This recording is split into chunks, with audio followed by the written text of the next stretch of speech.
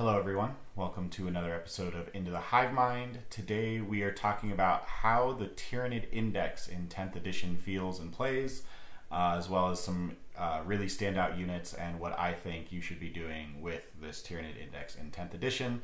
Uh, I've got we've got points out since my last video, so that obviously makes a decent amount of changes in terms of what is good and what is not. Uh, with that, let's go ahead and jump right in. Uh, I will start off by saying I have played three games with the Tyranid Index so far. Um, having a, a, little newborn makes it difficult to get a lot of games in, but I did have a, a good Saturday of just three full games. Uh, the first one being against my teammates Eldar. Um, Eldar are definitely extremely powerful. I think we all knew that, and yeah, they just uh, they can pick up our monsters with ease. Um, between Fate Dice, D, D Cannons, and uh, Fire Prisms, our, our monsters don't stand a chance, unfortunately. Um, I got tabled turn two. Then my second game was against Space Marines, and uh, they can certainly get a whole lot of combos together. And they have those Gladiator Lancers that reroll all hits and wounds, and unfortunately, uh, damage. And with that damage reroll built in with a D6 plus 3 AP4 pretty much auto hitting, auto wounding gun. Uh, they also just pick up all of your monsters, so also got tabled turn two in that game.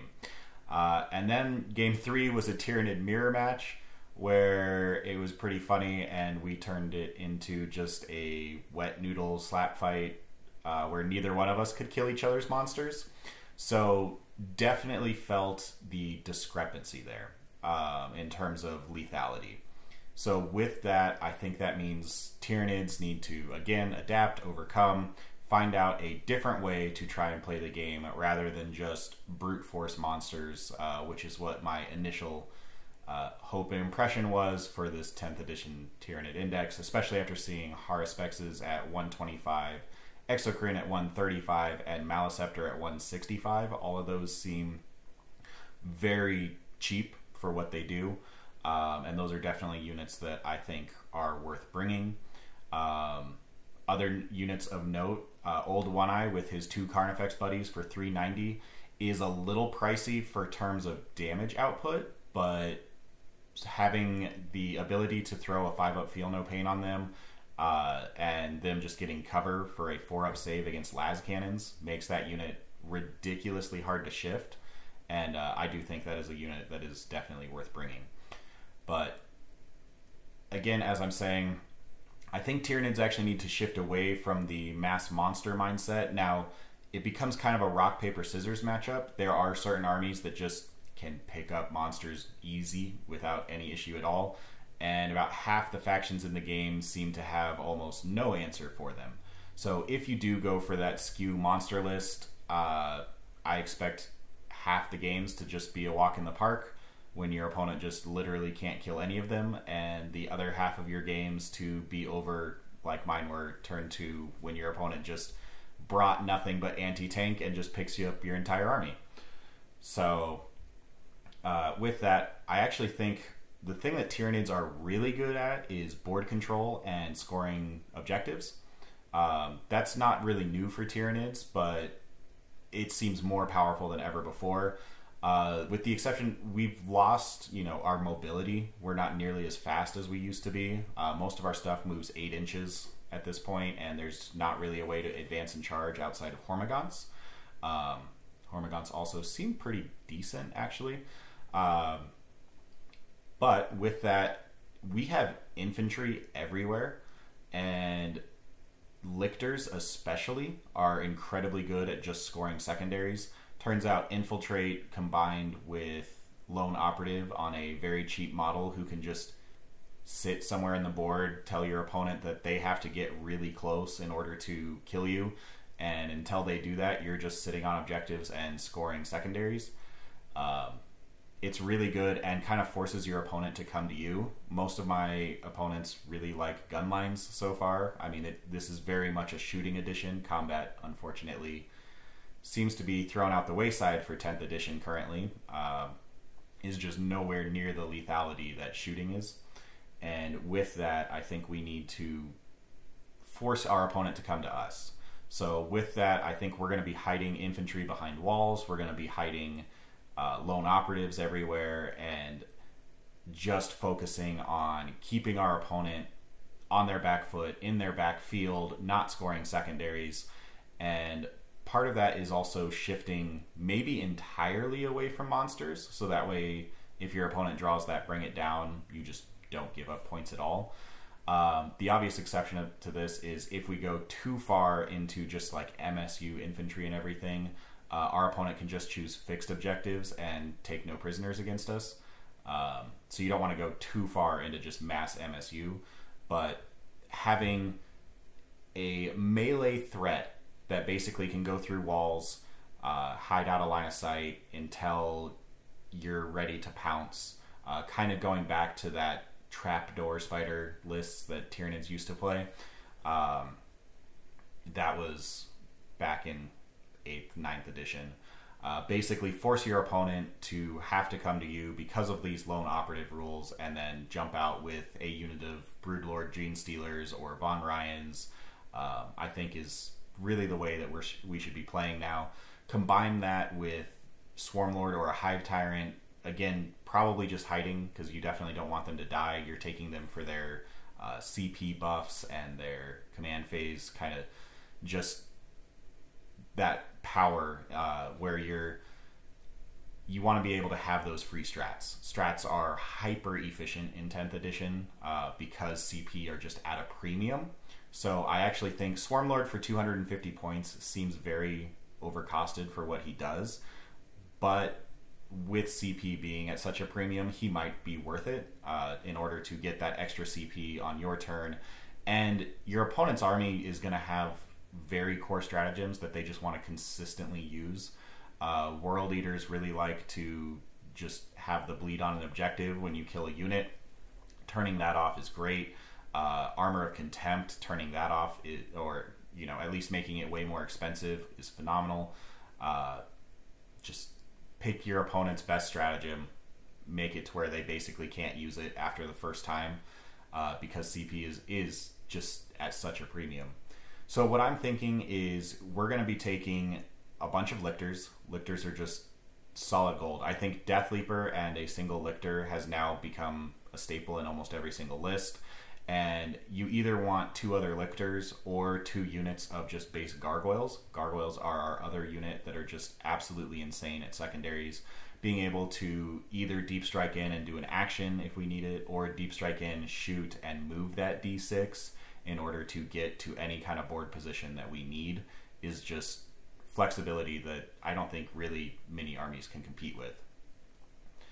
Uh, so you have your core of a hive tyrant, either a walking hive tyrant or a swarm lord, in order to get your CP. Now this is just kind of flavor effect for you. Uh, whether you want that additional CP on each of your turns and to be able to vect one of your opponent's CP, or to be able to just have a free stratagem on both yours and your opponent's turn. You can kind of tech into that. But with that, I think we want to have Death Leaper and I'm going to say three lictors. Uh, just go all out with this. In addition to probably two units of six Von Ryans, um, that all of which just infiltrate in the midfield. Um, you're not trying to be hyper aggressive with these. Instead, try and put them just in key strategic locations where they can get onto the objective if you need to for a turn and just be able to threaten those objectives. But until you're ready to do that, you basically just want to find your safe position to hide. And then you want, uh, a, I think, a unit of 10 Genestealers with a Broodlord it is pretty expensive. Uh, 280 points for the unit for what it does is pretty pricey, but just as a counterpunch unit, uh, one unit I think is absolutely worth it. And you can even give the Broodlord Synapse with the enhancement, which is really great. And speaking of enhancements, uh, Alien Cunning, absolutely take it. 30 points. I'd pay 50 points for this. Redeploying three units after. Uh, I believe after you see if your opponent's going first uh, is just insanely good, especially with infiltrators. Uh, if you end up finding out, yep, no, my, my opponent is going first and they're going to be able to just kill all my infiltrators, that's fine. Pick them up, put them in reserve. Lictors especially uh, have a really broken combo of just pick them up, put them in reserve, and then in your opponent's turn they get to rapid ingress for free. At least one of them does, and you can then uh, show up just outside of 12 and because you're showing up after your opponent's movement phase they there's nothing they can do about it. They can't shoot you because of lone operative. They can't charge you because you're outside of 12 and on your turn you now just get to move 8 have a 4 inch charge if that's what you want. And it's just it's really good being able to basically guarantee that these guys are always going to have the initiative. Um, so with that i also think a neuro tyrant is actually pretty hyper efficient for its points. 105 points to basically just be able to give out synapse wherever you need it uh, is just insanely good. And in addition to that it kind of fits with our little trapdoor uh, scheme where we're basically going to give a unit synapse we're going to launch it forward kind of similar to 8th edition when we were double moving Genestealers uh, with swarmlord except now you're basically just hide behind a center ruin and threaten the midfield, you're probably not getting into your opponent's backfield minus some lictors or uh, gargoyles deep striking in just to get behind enemy lines if that's a strat or a secondary that you pull. And other than that, we're just focusing on controlling the midfield. The nice thing about the uh, missions that we've seen so far is it's only one objective in your opponent's deployment zone. The other three are all in the midfield. As long as we can compete for that, that's all we need to do. And between Termagants being OC2 and also just having mass cheap bodies, I think is the way to go here. Um, again, you've got Lictors and Gargoyles for your secondaries, and then we're going to throw in the Neuro Tyrant with at least 11 Neurogaunts. I think is actually really good with him. Even though it makes him T3, your opponent just doesn't feel like shooting at them, apparently, at least in all of my games. Um, the Neurotyrant basically was always the last unit I had on the board, uh, which is fair. His damage output is minimal, but the command phase buffs of just giving out synapse is really good. Again, especially to like a unit of Gene Stealers that you're going to throw forward into your opponent's line, making sure that they have synapse so that way on your opponent's hitting back, you can give them that five up feel no pain is really good. Uh, the thing that I've been experimenting with a lot is actually termagants, like three bricks of 20 of them, uh, combined with venom thropes, are just very difficult to shift. Now, with this, I like to go more the Hive Tyrant route rather than the Swarmlord route, and the reasoning for that is you just sit there and give that free 5 up Feel No Pain uh, to two units. Uh, and because of that, basically, you're you have the unit slightly tail back to some Venom Thropes hiding behind a building, and then that unit of Gaunts is getting stealth and light cover, and they can just sit in the midfield. They're going to have a four up save. They're going to be minus one to hit, and as long as you're within 12 of that walking Hive Tyrant, which he should be right next to your Venom Thropes, so they will be, then you give one unit five up, feel no pain, and if your opponent then says, okay, fine, I'm going to shoot the other unit then, and your Hive Tyrant just says, okay, free strat, they also have a five up, feel no pain and those Termagant bricks just become ridiculously hard to shift. Uh, in the same vein, Hormagaunts actually can do the exact same thing, and their melee threat is actually pretty decent, purely because of our Hive Fleet adaptations.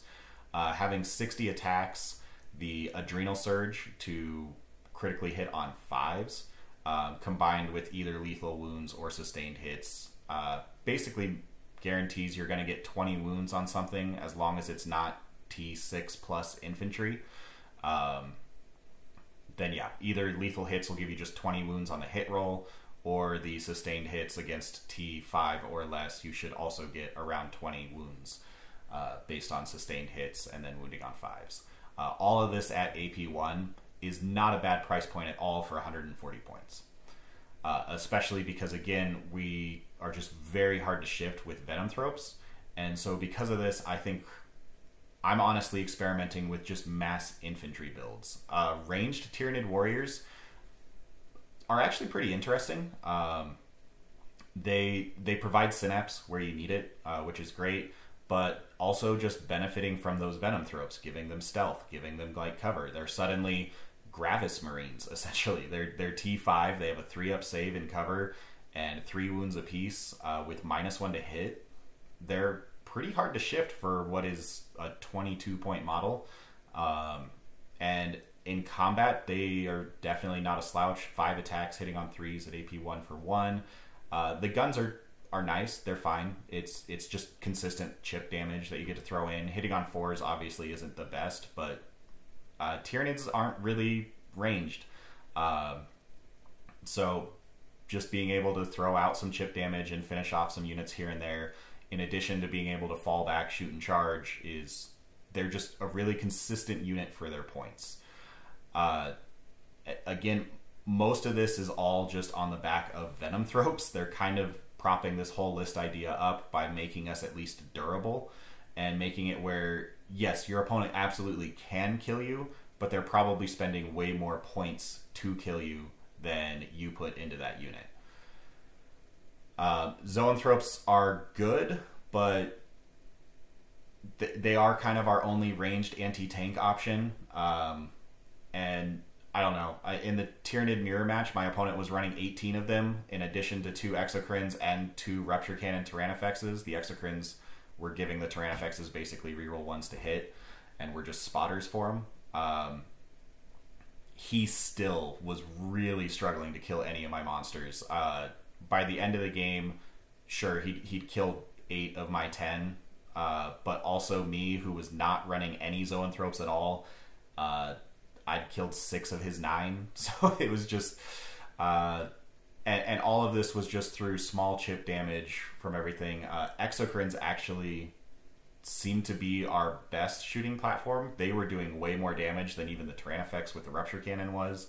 Uh, just AP3 for flat 3 damage with multiple shots it is really consistent. Uh, even if you're wounding on fives, lethal hits helps. Um, I'm not saying that they're going to blow up a tank when they shoot at it, but they seemed to do more damage than anything else in our list. Uh, the Zoanthropes, they can spike and absolutely pop a tank, the biggest issue I have with zoanthropes is their 24 inch range. And so the issue with that is once you fire, you, you, you get your one turn and hopefully you spike because next turn you were 24 inches away from that tank. There's probably something in your opponent's army that's now going to tag you and you have no way to fall back and shoot.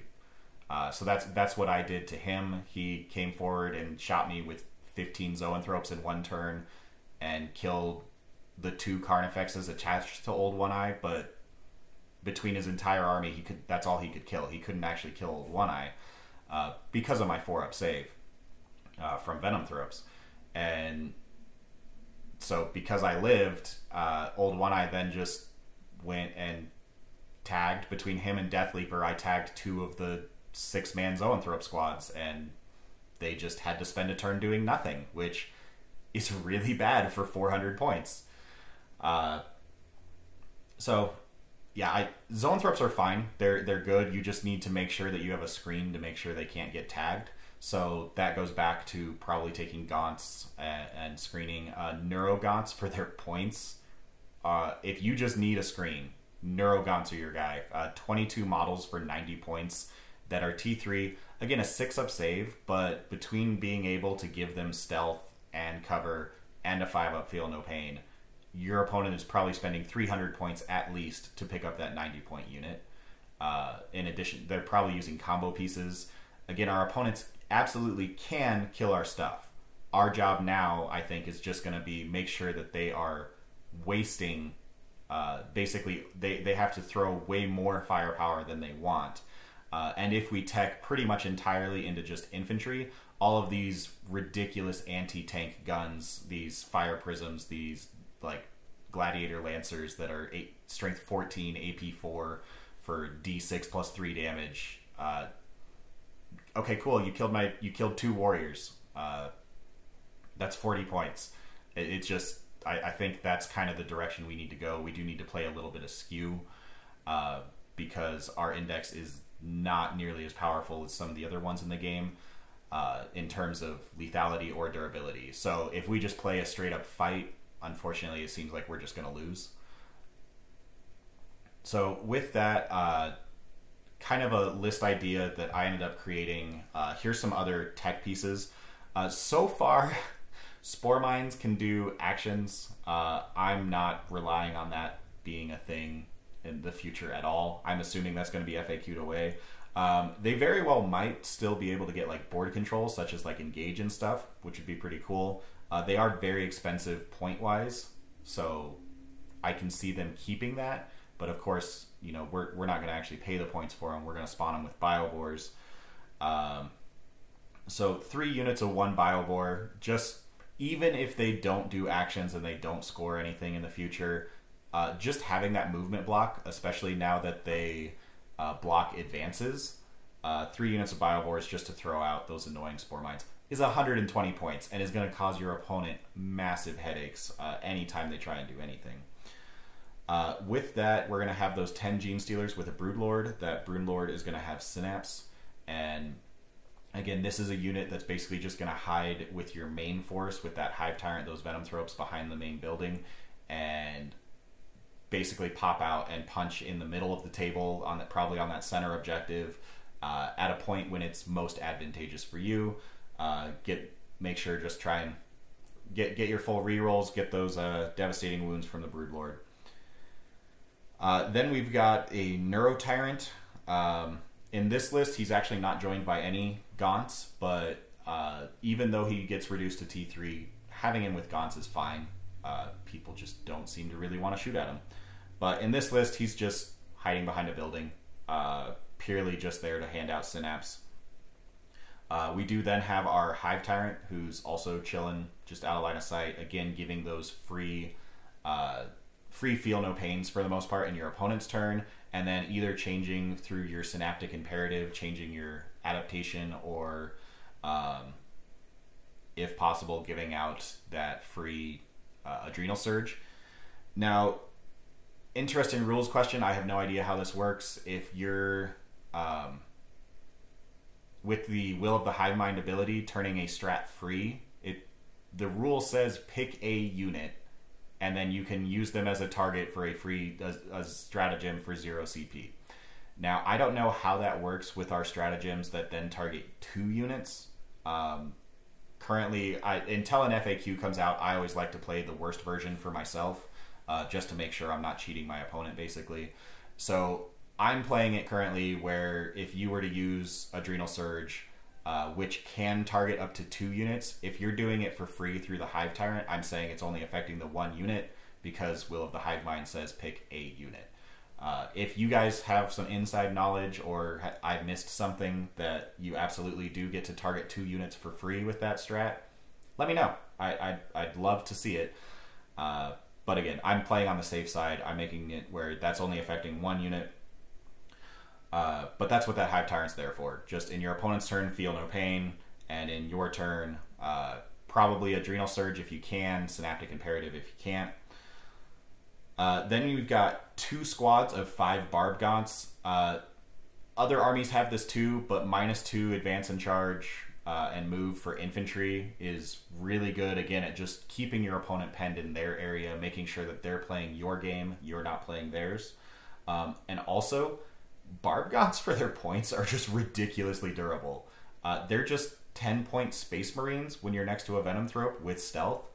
Uh, T, T4, 2 wounds, 3 up save, minus 1 to hit for a 10 point model. Um, and again, you can throw Feel No Pain on them.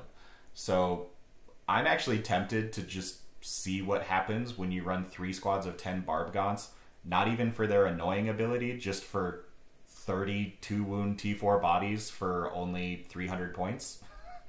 um, yeah, just just seems really good. Um, but two units of five barb gaunts, they they do stupid things to your opponent. Uh, then three lictors, as I talked about, these guys are probably just being deployed in the midfield where you're then just going to get secondaries. If you then go second, throw them up into reserve, uh, rapid ingress them, bring them down for just to get secondaries. They're really good at that. And if you go first and your opponent just happens to have very important vulnerable characters, lictors are fantastic at assassinate because all their melee attacks have precision. And uh, if you can redeploy with the infiltrate rule, that is again something else that I'm not entirely sure. Um, with the redeploy, it specifies using normal deployment rules. However, because you have infiltrate in your datasheet keyword, you, you might be able to still infiltrate with your redeploy. I'm going to wait for an FAQ on that. But worst case scenario, if you want to redeploy these guys, you can absolutely throw them in reserve, and then they have that special ability to rapid ingress for free. All right. Uh, in addition to that, we've got two single pyrovores. Uh, these guys are amazing. Just if you have mass shooting, um, mass low AP shooting. So if you're running exocrines, you probably don't need pyrovores. But if you're running like the Tyranid Warriors or the Gaunts, all of their shooting is AP nothing or AP one. Pyrovores are amazing because they turn off cover. Um, so basically, two individual pyrovores. These guys' sole job is, hey, I'm trying to shoot this unit with a bunch of infantry. Uh, so pyrovore first, go in, hit them with your flamer, turn their cover off, and then fire away with all of your AP nothing AP one weapons. Um, and so, speaking of which, then we go into three units of six ranged warriors. Um, looks like we can have with a six man unit, you can have two death spitters, two strangle cannons, and uh, or two barb stranglers and two venom cannons. Uh, we'll see if that stays. I guess that is how it was in ninth, but you just didn't want to pay the points for barb stranglers. Uh, but they're good now. And venom cannons again on the infantry, I think are fine. Venom cannons on monsters for D three shots don't seem worth it. Uh, but on the on the warriors, they're great. So three squads of six range warriors with two barb stranglers, two death spitters, two venom cannons.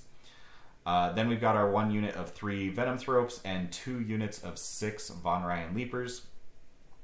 Uh, and alien cunning, throw it on the neuro tyrant. So basically, how this list works is you're just going to have mass infantry that are really annoying to shoot uh, because of these venom thropes, and so then your opponent hopefully wants to come and punch you, especially because of, you've got lictors with lone operatives and they need to come close to be able to kill those. And then once they are close, you've got warriors, you've got the barb gaunts, you've got uh, the gene stealers as a counter punch. And if your hive tyrant is able to kill them without exposing themselves, then that's great. But I, I think this is kind of the list. Because I went through and talked about each unit, I'm now going to go through the entire list so it's nice and easy for you to understand. Uh, you've got your Neuro Tyrant with the uh, Alien Cunning. Then you have a Broodlord with Synapse attached to 10 Gene Stealers. You have your Walking Hive Tyrant, no attachments, he should just be hiding behind a building. Then you've got three units of six ranged warriors one unit of three Venom Thropes. These guys should just be hiding as the center core of your army. Two units of six Von Ryans infiltrating. Three units of Lictors plus Death Leaper also infiltrating. Uh, two units of five Barb Gaunts. Uh, and then, let's make sure, two individual Pyrovores. And three individual Biovores. Uh, so with that, this list does give up uh, no prisoners if your opponent decides to take that. But honestly, most of your stuff is actually really hard to kill. Um, you, you've got all these individual units. Sure, your pyrovores are throwaway. Your your lictors are kind of throwaway if you put them in your opponent's field. Uh, but it, I don't think your opponent actually takes no prisoners against this. If they do, I don't know what their other fixed objective is going to be, but. Uh, the the list basically just gives you lots of really annoying to kill infantry, and completely wastes your opponent's super anti tank guns. So we'll we'll see. Um, that's basically this list idea. I'll throw up another video with some other list ideas, but that has been my experience in 10th so far, and that's what I'm going to be trying. So I'll let you guys know how it goes, and uh, give me your list ideas. And if you've had lots of success with NIDS, hopefully more than I have with just two games of being tabled turn two, but that's just how it goes at the beginning of a new edition. We're waiting for things to get balanced out. Thanks for watching. Talk to you guys next time.